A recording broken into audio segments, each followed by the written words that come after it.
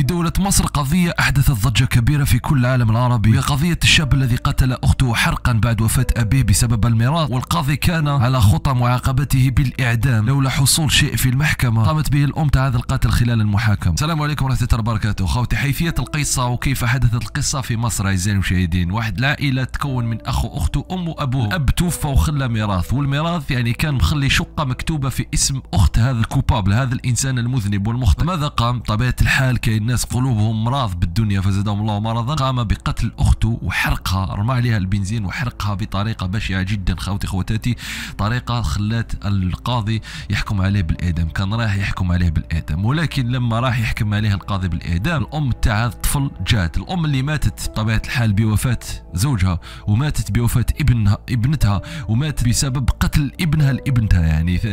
ثلاثة موتات وراح تزيد تموت بسبب حكم الإعدام اللي كان سيأتي بحق الابن بطبيعة الحال. تخيلوا معايا مكان ولا قلب الأم في هذه الحالة أعزائي المشاهدين. واش دارت الأم هذه؟ راحت إلى المحكمة القاضية. راح نشوفوها مع بعض كيفاش كانت ردها وكيفاش كانت دفاعها على ابنها في المحكمة. شوفوا معايا خوتي خوتي عشان قلت لك إن عايز أكتب له الورث. ان زعلان عشان ولادك كتب لها الشقة كتب لها إيه؟ زعلان عشان والدها إيه. كتب لها الشقة. إيه؟ اتفقوا علينا بقى. آه. اتفقوا علينا حضرتك. وأنا ما عادش جاي منه يا باي هو ابني وهي بنتي. هو ابني وهي بنتي. هو ابني وهي بنتي. وأنا بستسمحك. يعني يبقى سندي في الحياة. معلش. جاية هنا النهارده ليه يا حاجة؟ جاية اتنزل عن الدعوة المدنية دي. أهو. ربنا يكرمك ويصلح حالك. أنا أم برضة. ما مع متصالحه مع ابنك. أي. هتصفح عنه. اي وحسفح عنه. وبعد هذا التدخل من الأم القاضي رفض يعني بطبيعة الحال طلب إلى الإنسان الجاني القاتل. رفض له طلب وقال له قبل راس أمك ويدها ورجليها. قبلهم. أي ومراته هي السبب. في المشاكل دي كلها. أي وبيسمع كلامي يمكن عمل دي غصبا عنه من كتر دقها عليه. ومن كتر من كتر ضغطها عليه ضغطها يعني عليه حضرتك تعال محمد بس راس أمك وبوس رجليها كمان يا محمد بوس راسها.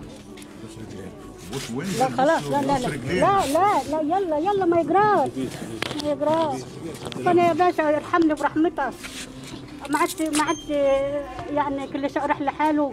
يبقى هو سندي في الحياة. جايتك النهارده مهمة قوي يا حاج. نعم. جايتك النهارده والله. الله. يبارك لك. انت مستشار محترم.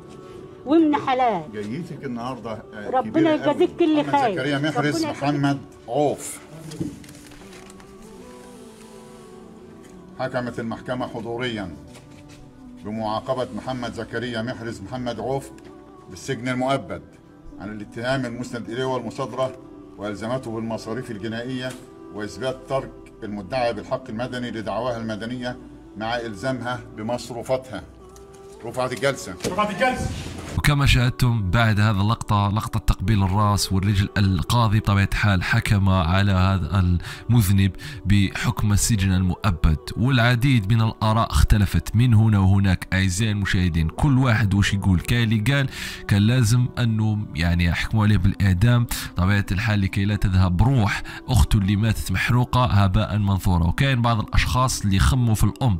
صراحة الأم لو لم تكن محروقة لما جاءت لكي تدافع على ابنها. نتمنى أنه يكون ولد بار خلال الحياة. ربي سبحانه وتعالى له فرصة إن شاء الله يكون بار خلال باقي الحياة لأنه الأم هذه مثلها الزوج تاعها وبعد وفاة الزوج تاعها في بسبب الميراث قتلت ابنتها بالحرق بطبيعة الحال من طرف ابنها الموتة موتتين أعزائي المشاهدين ثم الابن تاعها كاد أن يحكم عليه بالإعدام يعني يموت حتى هو وتبقى الأم وحيدة وحدها هذا ابتلاء وشر ابتلاء أعزائي المشاهدين واليوم تصيب إنسان ماشي لاقي خدمة ولا ماشي لاقي حاجة يقول لك يربي بلاني الابتلاء قد يكون فيه درجات ولما يكون في أقصى درجاته فماك يكون أقصى امتحان لإيمانك. اليوم هذا الأم أنا نشوف باللي هذا الأم طبيعة الحال تستاهل منا كل الاحترام والتقدير.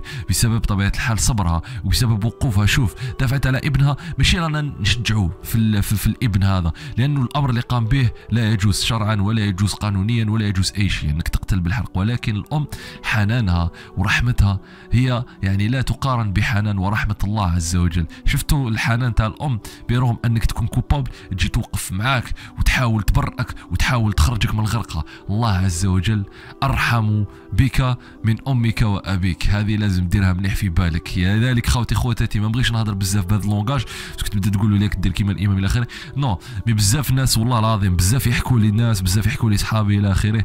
الله يا لو كان جا كاين نبي في وقتنا ولا لو كان رانا نصلوا لو كان رانا نعبدوا. بزاف ناس يقول لي صعيب علينا نتوبوا مع هذا الفتن اللي راهم كاينين لا لا لا يا إنسان يا حبيبي يا صاحبي. يا ال homme يا زعيم لازم تعرف بلي هذا الوقت اللي راه كاين فيه الفتن سهلين.